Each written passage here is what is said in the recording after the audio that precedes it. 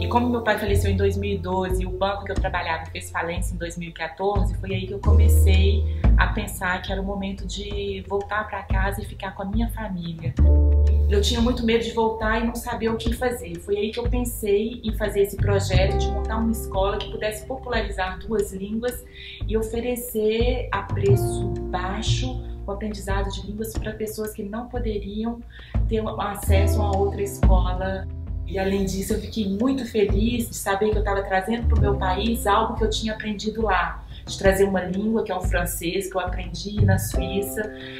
Foi maravilhoso porque eles me acolheram com, com carinho imenso e com muito, com, me deram muita segurança.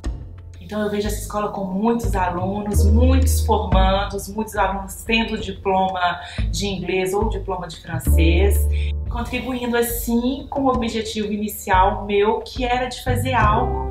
para melhorar nosso país, para trazer algo, me sentir útil à sociedade brasileira e